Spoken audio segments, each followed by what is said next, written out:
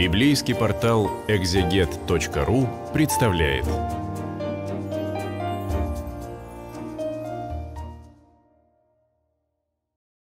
Здравствуйте, дорогие братья и сестры! Мы будем с вами рассматривать на библейском портале «Экзегет» третье соборное послание апостола Иоанна Богослова. Хочется сказать, что это соборное послание, как и второе его послание, является очень маленьким. Это скорее такое вот частное письмо, обращенное конкретному лицу. А, сейчас мы э, об этом узнаем. И э, тем не менее, за этими строками тоже вскрываются очень важные истины, которые всем нам следует знать. Старец возлюбленному Гаию, которого я люблю поистине. А, вот апостол Иоанн, как и во втором своем соборном послании, именует себя старцем. Прежде всего старцем по возрасту, но мы знаем, что именно апостол Иоанн Богослов а, один из основоположников православной традиции старчества, духовного руководства, и это не просто вот какие-то административные взаимоотношения – руководителей и подчиненных, да, где все предписывается какими-то сухими инструкциями. А духовное руководство, оно зиждется на христианской любви, на евангельском сострадании и на благодатном прозрении тех конкретных нужд, которые имеет вот духовное чадо, обратившееся к старцу. И вот таким благодатным старцем и был апостол Иоанн. Он пишет Гаию, Гай — это один из э, любимых учеников апостола, один из его последователей, который э, ему помогал, э, который проповедовал и являл собой просто вот образец христианской веры, возлюбленный. Молюсь, чтобы ты здравствовал и преуспевал во всем, как преуспевает душа твоя. Ибо я весьма обрадовался — когда пришли братья и засвидетельствовали о твоей верности, как ты ходишь в истине. Для меня нет большей радости, как слышать, что дети мои ходят в истине. Вот интересно, что апостол Иоанн, несмотря на то, что а, он ну, считается таким вот а, тайнозрителем, да, а, апостол Иоанн — это созерцатель самых высоких божественных тайн — и воплощает самые, в своем Евангелии самые э, высокие догматические истины. Но о, о чем он молится? Он молится очень по-простому. Он говорит, молюсь, чтобы ты здравствовал и преуспевал во всем, как преуспевает душа твоя. Э, и это значит, что на самом деле вот в молитве для э, нашей к Господу нет, в общем-то, просьб каких-то недостойных. Мы можем смело молиться о здоровье друг друга, о телесном здоровье, потому что здоровье — это тоже Божий дар, и здоровье нам нужно для того, чтобы мы служили Господу, вот как служил э, вот этот Гай, возлюбленный ученик апостола Иоанна. И кроме того, апостол Иоанн молится, чтобы он преуспевал во всем, во всех своих делах, в трудах, а не только в духовной жизни. Конечно, на первом месте именно духовная жизнь, и душа Гая преуспевала, пишет апостол Иоанн. Но э, святой апостол молится, чтобы он также преуспевал и во всем остальном, чтобы благословение Божие в целом сопутствовало э, нашей простой человеческой жизни. И э, святой апостол в этом послании выражает свои вот такие личные чувства.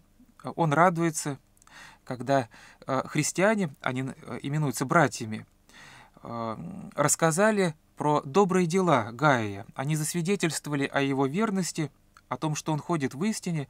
И вот в чем как раз тоже один из признаков старчества, что подлинный старец, он забывает о себе и думает только о чадах. И он говорит, для меня нет большей радости, как слышать, что дети мои ходят в истине.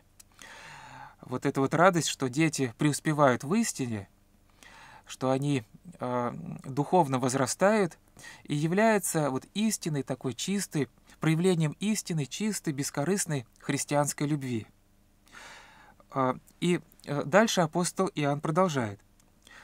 «Возлюбленный, ты как верный поступаешь в том, что делаешь для братьев и для странников. Они засвидетельствовали перед церковью о твоей любви. Ты хорошо поступишь, если отпустишь их, как должно, ради Бога.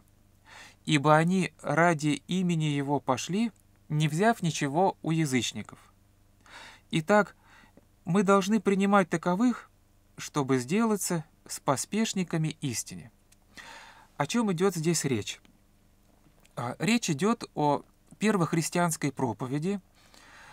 Уже были первые христианские учители и такие вот странствующие миссионеры, которые постоянно ходили с одного селения в другое селение, которые вели очень такой э, подвижнический образ жизни, э, не имели при себе денег и посвящали себя всецело проповеди. Вот они, переходя из селения в селение, проповедовали – при этом э, нужно же было как-то вот жить, э, как-то питаться, но все равно вот эти э, странствующие христианские проповедники, они не брали ничего от язычников, как мы читаем у апостола Иоанна.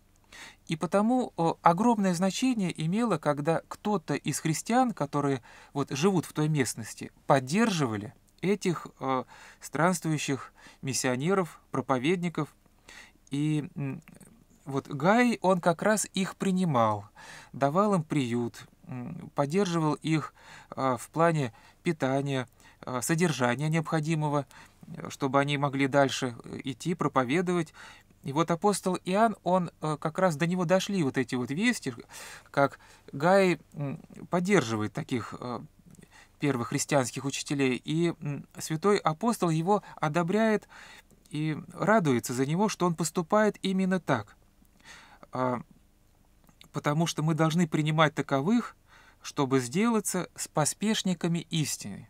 Чтобы истина, она распространялась, нужны проповедники истины, но проповедников истины тоже должен кто-то поддерживать. И вот дальше э, встречается такой отрицательный пример – который а, вошел в это послание. Ну, мы понимаем, что э, вот это послание — это частное письмо, э, в котором апостол писал все как есть. Э, и вот что он говорит. «Я писал церкви, но любящий первенствовать у них Диатреф не принимает нас. Посему, если я приду, то напомню о делах, которые он делает, понося нас злыми словами и, недовольствуясь тем, и сам не принимает братьев, и запрещает желающим, и изгоняет из церкви. А, вот, к сожалению, не все э, в первом веке, в апостольское время было идеальным, как бы нам хотелось, и встречались вот и среди первых даже христиан и э, священнослужителей, ибо Диатреф, судя по всему, был предстоятелем какой-то вот небольшой церкви, но вел себя очень высокомерно. И что удивительно, ведь апостол Иоанн Богослов, он же сам был преисполнен любви, и к нему многие тянулись. А, за счет проповеди, проповеди апостола Иоанна многие обращались ко Христу, но встречались те, кто апостола Иоанна не любил. Вот таковым оказался вот этот Диатреф, о нем сказано, что он не принимает нас, и даже поносит злыми словами. Э, к великому сожалению, грех, он э, очень коварен, он может поразить любого человека, невзирая на его статус, возраст, общественное положение или даже иерархическое положение. И вот этот Диатреф также не принимал э, проповедников веры Христовой, вот этих первых христианских учителей, которые ходили из селения в селение, нуждались в поддержке, но Диатреф сам не принимал их и запрещал желающим принимать. И сказано даже, что он изгонял из церкви. То есть фактически он кого-то извергал из церкви, и не всякое извержение является справедливым. Отсюда мы видим. А, вот святой апостол Иоанн Богослов, э, категорически не соглашается с таким высокомерным поведением, а к Гаю обращается со следующими словами. «Возлюбленный, не подражай злу, но добру. Кто делает добро, тот от Бога, а делающий зло не видел Бога». Вот э, эти слова, наверное, являются одними из самых таких ключевых в Священном Писании. И в каком-то смысле вот эти слова — это вообще ключик э, к личному счастью. Потому что человек, который делает злое, не может быть счастлив. А если ты делаешь злое, то значит, это зло, оно уже внутри тебя, и оно не даст тебе покоя. Оно тебя самого съест, изведет, разрушит изнутри. И только тот, кто делает добро, тот от Бога а делающий зло не видел Бога. И поэтому не подражай злу, но добру. Человек в каком-то смысле, он подобен такому вот зеркалу, которое что-то в себе отражает. А зеркало может отражать в себе сияющее солнце, да, и тогда оно само может а, осветить, допустим, темную комнату вот этим лучом, заимствованным от солнца. А, а если зеркало повернуть к земле, то оно будет отражать в себе грязь, и вот так от нас зависит, что мы отражаем в самих себе, добро или зло. И только тот, кто делает добро, тот от Бога, а делающий зло не видел Бога. После этого святой апостол упоминает еще одного человека и говорит так. «О Дмитрии засвидетельствовано всеми, и самую истинную свидетельствуем также и мы, и вы знаете, что свидетельство наше истинно. К сожалению, э, не сохранилось подробных сведений, кто был этот Дмитрий, но по древним э, некоторым таким э, данным, он тоже один из учеников апостола Иоанна Богослова, а впоследствии он стал епископом. То есть это один из первых христианских святителей. Он тоже поддерживал первых христианских учителей и, э, в общем-то, был выразителем традиции апостола Иоанна Богослова. Ну, собственно говоря, вот послание, оно э, подходит к концу. Апостол завершает так. «Многое имел я писать, но не хочу писать к тебе чернилами и тростью, а надеюсь скоро увидеть тебя и поговорить устами к устам. Мир тебе! Приветствуют тебя друзья, приветствуй друзей поименно. Аминь. А, какие добрые тоже вот слова у апостола Иоанна. Он говорит, мир тебе, это вот то, чего всем нам не хватает, мира сердечного, мира душевного – просит приветствовать друзей поименно. То есть каждый конкретный друг имеет огромное значение. И вот почему мы вообще в церкви поминаем каждого по имени.